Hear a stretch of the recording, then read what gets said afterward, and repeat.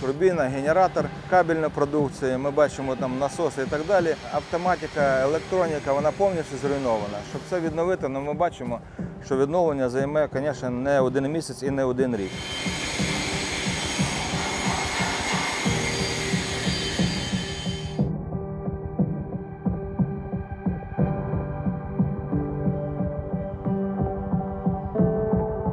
Самі тяжкі, звісно, зруйнований повністю машинний зал. Його відновлення, як його відновити, ми ще поки що не знаємо. Ми чекаємо зараз пропозицій проєктантів від ремонтних організацій. Рішення на сьогоднішній день немає. І саме головне це обладнання російське, і зрозуміло, що замінити на таке саме у нас зараз немає можливості, а саме головне немає бажання.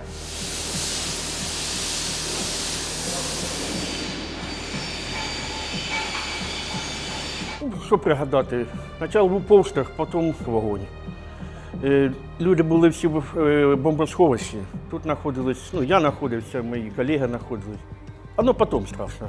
Спочатку страшно мені не було. Як пригадаєш, звісно, воно. Саме е, для мене було важливо, що всі люди живі. Ну і ненависть до агресора, що стільки людей за них страдає.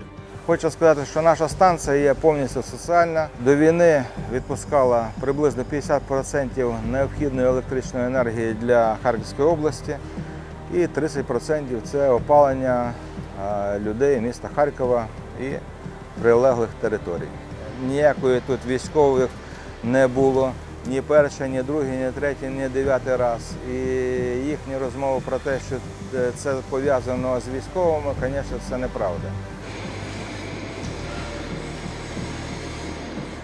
На сьогоднішній день станція не працює. У нас є плани, звісно, по її відновленню. Ми мусимо підготувати своє обладнання до опального сезону 24-25. Але саме головне, що що б ми не робили, і відно- ві- як навіть якщо ми відновимося, якщо не буде належного захисту підприємства, інфраструктури і регіону в цілому, то це буде марна, марна наша робота. Нам нікуди йти. Тобто ми повинні, хтось должен це робити. Чому не я? Так що будемо робити.